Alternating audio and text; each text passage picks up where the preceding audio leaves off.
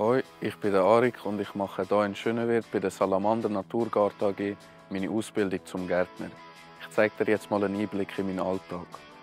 Wir sind spezialisiert auf Schwimmteich und auf Naturgärten. Dazu gehört halt Pflege und das Bauen der jeweiligen Sachen. Bei Salamander Naturgarten gefällt mir das Team sehr gut und ich finde es cool, dass wir schweizweit tätig sind.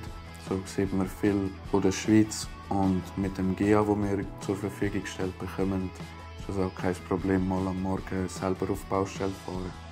Ich habe zuerst ein Jahr FMS gemacht und das hat mir dann nicht mehr so zugesagt, den ganzen Tag nur drinnen hocken.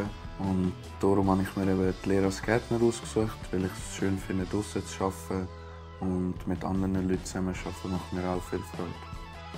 Dadurch, dass unsere Berufsbildnerin wie zugewiesene Zeit nur für uns Lernende hat, können wir bei Fragen sie oder die anderen Lernenden ansprechen. Und wenn wir ein Anliegen haben, können wir am Ende der Woche in der Lernendensitzung die immer aufbringen und die werden meistens dann auch geklärt.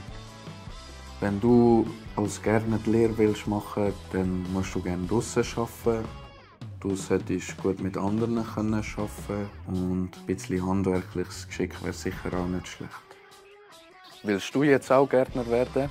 Dann bewirb dich jetzt und wird Teil von unserem tollen Team.